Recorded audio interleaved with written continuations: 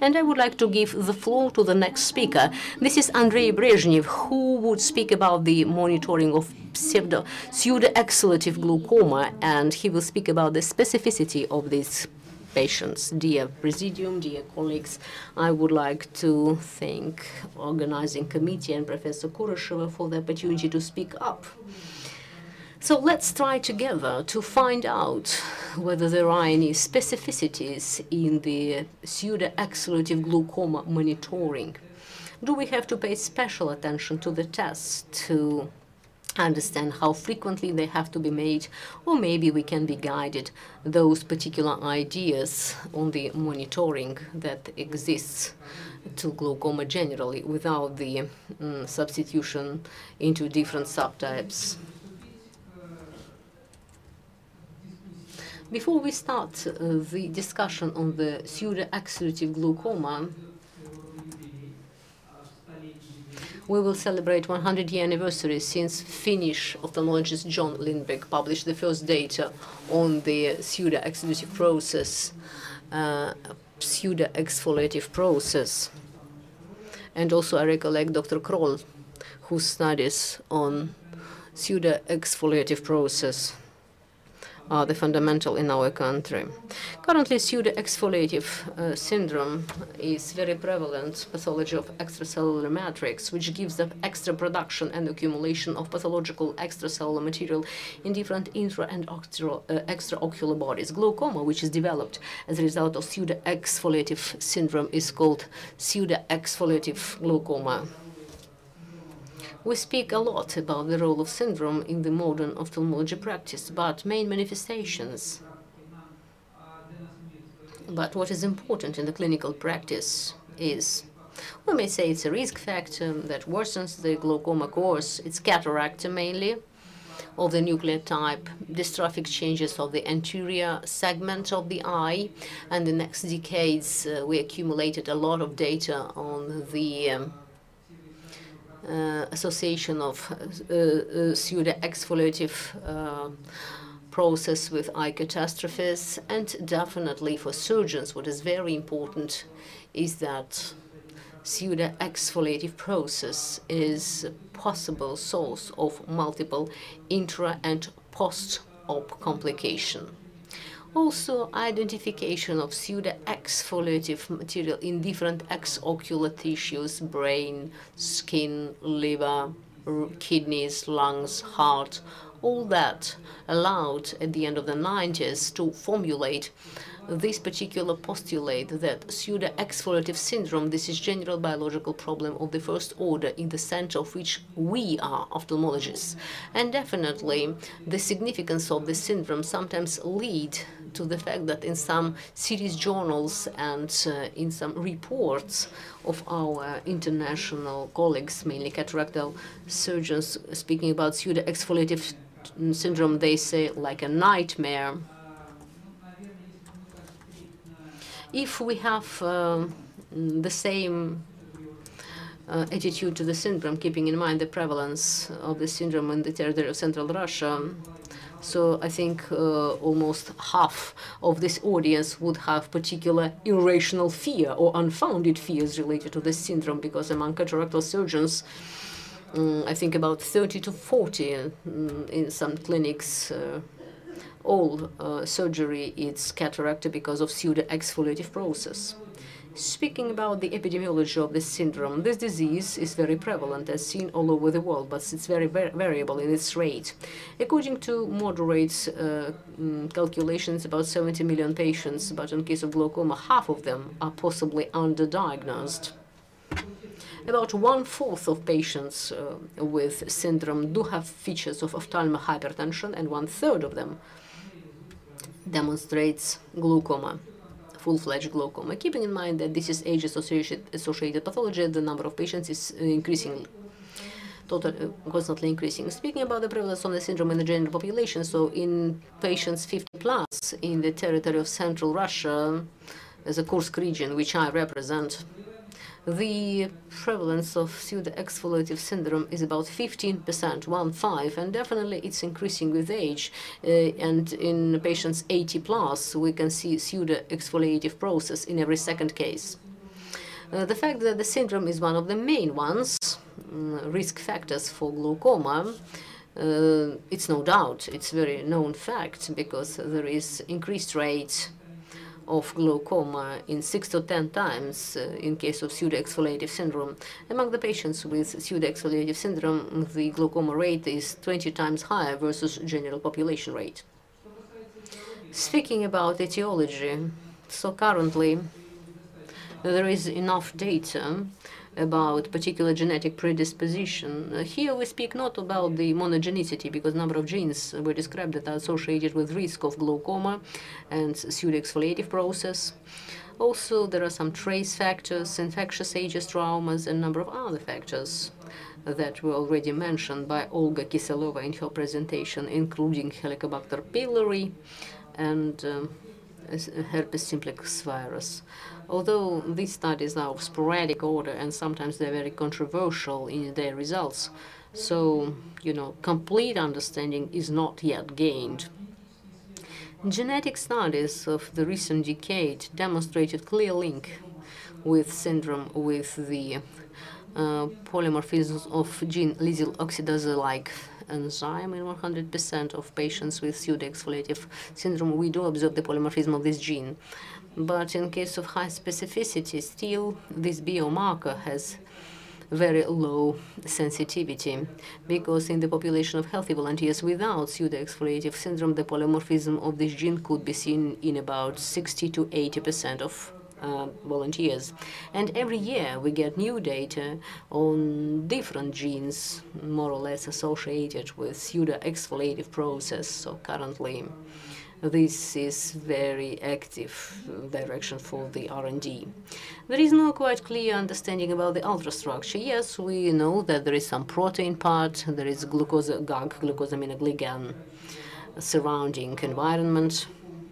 And in the protein nuclei, there are components of basal membranes, elastic connective tissue, amyloids, amyloid-like proteins, and three main theory of pathogenesis actually linked to the presence of all these substrates in the ultrastructure of pseudoexfoliative material. From three presented theories of pathogenesis here, the dominating one is the um, theory that pseudoexfoliative process is the systemic elastosis. This is a feature of microfibrillopathy of elastic connective tissue. So there is some evidence in favor of this particular theory of pathogenesis.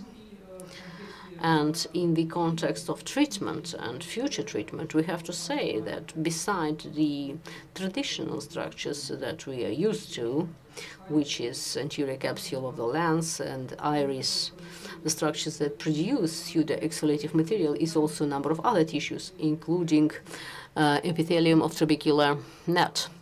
Uh, that possibly explains pretty temporary effect from a number of procedures that were offered before as the novel methods of pseudo-exfoliative syndrome treatment, pseudo-exfoliative glaucoma, uh, let's say trabecular aspiration, keeping in mind that uh, not only on the surface of trabecula we do have the pig pigment, but also uh, if you look at the posterior um, part of the iris, and uh, the trabecula per se is a source of production. This is obvious that all these measures could be very temporary.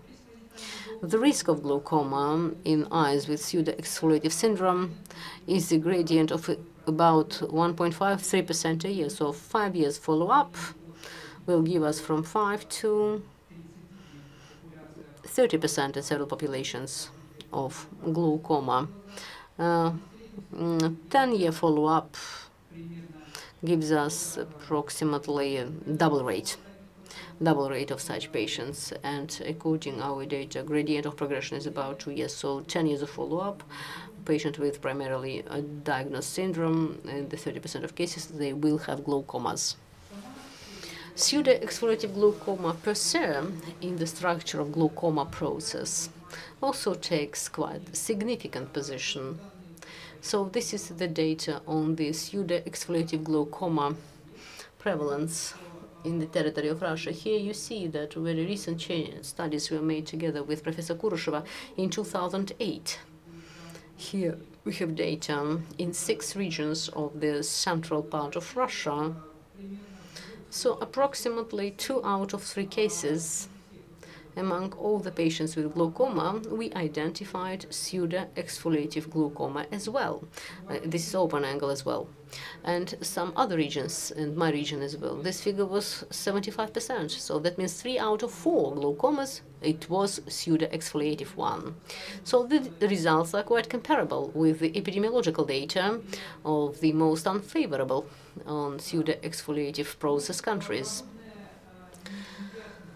So this unclearness in terms of pathogenesis leads to the fact that there are different approaches to the uh, pseudo-exfoliative glaucoma classification and its place in glaucoma classification. If we speak about the International Disease Classification IDS edition 10. There, glaucoma pseudoexfoliative belongs to the primary, and it's the same code like primary open-angle glaucoma simple.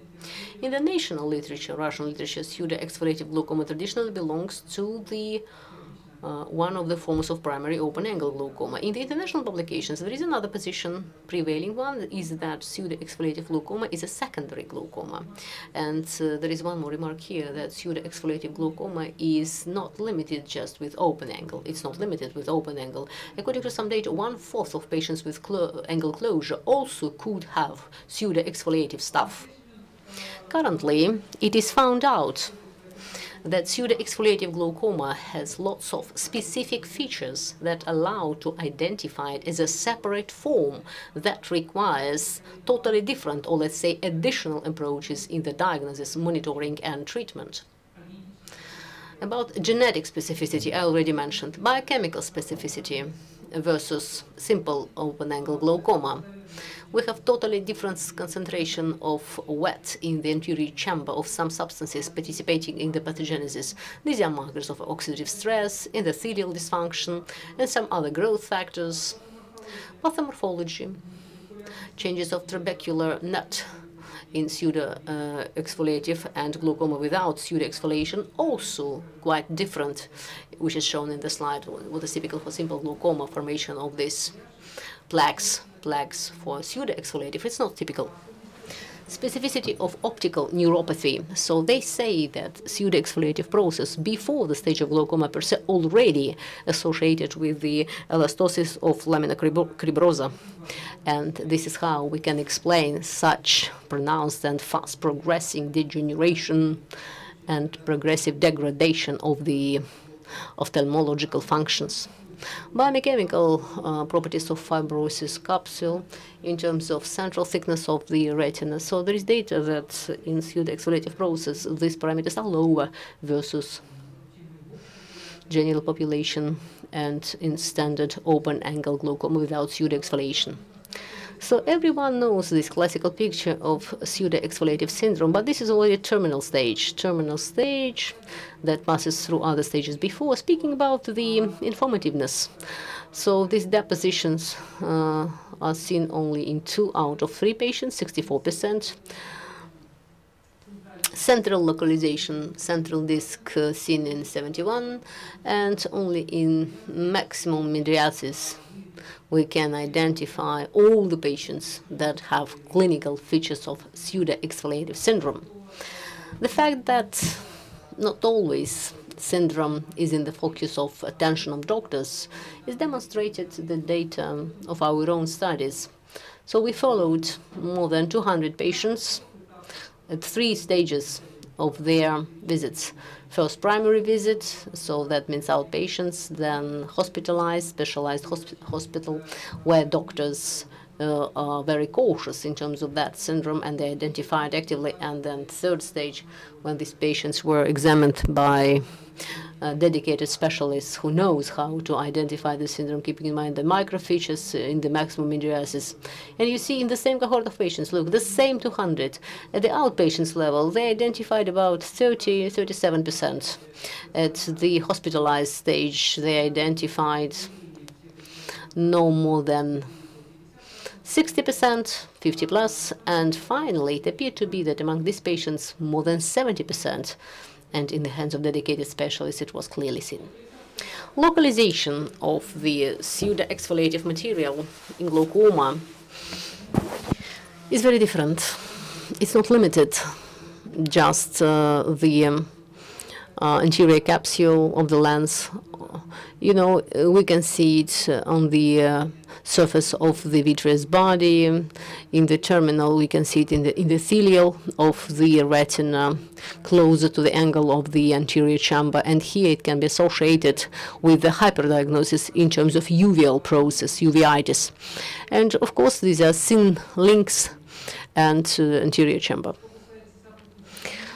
Uh, concomitant changes that could also influence both the quality of the diagnosis and quality of monitoring, well, it has already been mentioned, nuclear cataract, dystrophic changes of the anterior segment of the eye with the phenomenon of translumination, gonioscopic picture with hyperpigmentation of the anterior chamber angle and uh, deposition of pigment as a dotted line uh, in the Schwalbe ring or rim, I don't know. And then weakness of Zinn links with subluxation of the lens. Then the presence of the synechia, where there were no manipulations before. And definitely rigid pupil, which has already been mentioned and it causes very discomfortable situation in cataract surgeons. The specificity of clinical manifestation of glaucoma per se is characterized by a higher average age of patients at the moment of diagnosis, high level of IOP, although in recent years there were several publications that demonstrate that there are cases of pseudo-exfoliative mm, glaucoma which is normotensive. But these are just single publications, and I think it's uh, mainly setting a question whether it's new phenotype or not. But still, majority of cases of glaucoma, it is uh, glaucoma with um, uh, moderate or Uh, high IOP. And also the feature of this glaucoma is very pronounced daily or circadian variations, and this is independent risk factor of progression of glaucoma process and also requires correction in terms of particular drug treatment or surgical choice. All that gives us possibly this type of fast progressing glaucoma, pseudo-exfoliative glaucoma with particular loss of optical functions, visual functions. Speaking about the medical treatments, we can say that pseudoexfoliative glaucoma is more resistant to drugs. We need more frequent switch to add-on drugs, to laser or surgical treatment. And last but not least, in the context of drug choice, this glaucoma is specifically required more effective, more aggressive, let's say, drug treatment as monotherapy we speak about prostaglandin analogs, or it could be starting fixed combination, and possibly in the cases if patient comes in very advanced stages of the disease, then it could be starting surgery. There is one more nuance we have to keep in mind, both in, in the treatment and choice of drugs, and also in the context of monitoring. When we speak about glaucoma patients, we should not forget that one of the factors that uh, is important in the management of patients is the quality of life. We know that uh, this pretty low quality of life could be worsened because glaucoma process requires long-standing medication treatment that can provoke the dry eye syndrome. As the studies show, international studies and our own data, uh, they say that pseudo-exfoliative syndrome associated with particular changes of functional parameters of tear, worsening of uh, tear parameters even before glaucoma. It is uh, optimal that we should look, uh, choose cons conservative-free, preservative-free drugs and uh, reduce the frequency of instillation. And this is the priority for these patients. And last but not least, in the context of monitoring, Currently, if we look at the national guidelines, Russian national guidelines, so monitoring is follow-up assessment and prognosis of glaucoma process and is a part of the dispensary activities, which is a complex of diagnostic methods required to specify the uh, Uh, degree of glaucoma severity and the progression rate, which correlates with the particular objectives that we are setting in our treatment. And this is not just the preservation of the visual function, this is also preservation of the appropriate quality of life with affordable financial burden. There is glaucoma and there is glaucoma. Yes, we know. This statement is known very well and for a long time.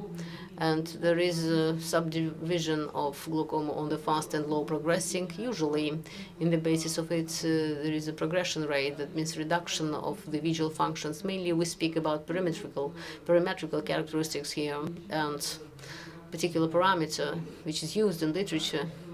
This is 1.5 decibel a year and higher, which is everything that is high, this is fast progression, which is lower is, let's say, lower or mid-progressing. According to multiple studies, cohort studies, it was shown that the percentage of patients with fast progression glaucoma is a population of glaucoma patients from 5 to 25 percent, depending on the study, depending on the population. If we speak about different types of glaucoma, it is that pseudo-exfoliative glaucoma that is the majority of these fast-progressing cases. It also requires particular correction of the existing algorithms of glaucoma monitoring. Well, possibly we need shorten the deadlines possibly we need to introduce additional technologies, monitoring technologies, and definitely individualization and tailoring of approaches. If we speak about the guidelines of European Glaucoma Society, so during first two years, it is offered to have six perimetrical measurements a year. Uh, first two years, two years.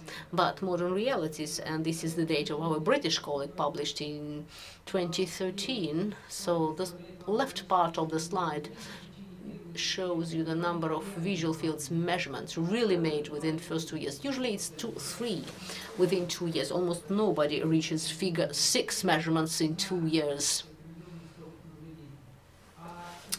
But uh, measurement six, if it's the right part of the slide, you see the majority of patients get measurement six when the duration of disease is up to five years.